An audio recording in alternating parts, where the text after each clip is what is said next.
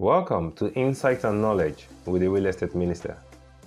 Today we are going to dive into the trend in the Nigerian real estate market for 2024.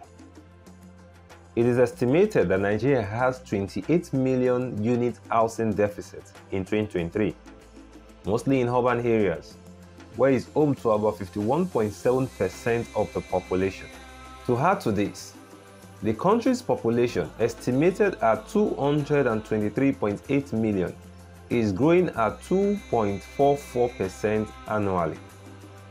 The Nigerian real estate market size was valued at 91.1 million in 2023, forecast to grow to 2.26 trillion in 2024, of which residential estates will contribute 1.93 trillion or we say 85.4% and is predicted to reach 137.8 million by 2030 at compound annual growth rate of 6.1% from 2024 to 2030.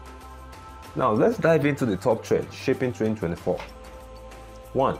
Massive growth. Nigerian urbanization, rising income, and growing middle class are driving the real estate surge. Major cities like Lagos, Abuja, and Port Harcourt are hotspots for new development. 2. Luxury housing. Despite economic challenges, luxury properties are in high demand.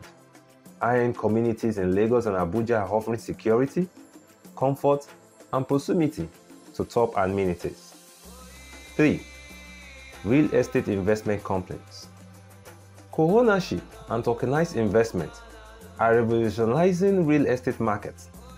Young Nigerians love this low cost, low risk way to invest in properties. 4. Tech revolution.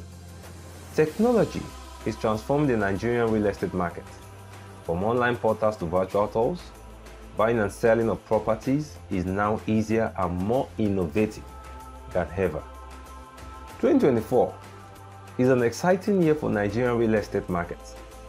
Whether you're an investor or a home buyer, there are endless opportunities for you. Stay informed and make smart moves. I remain a real estate minister.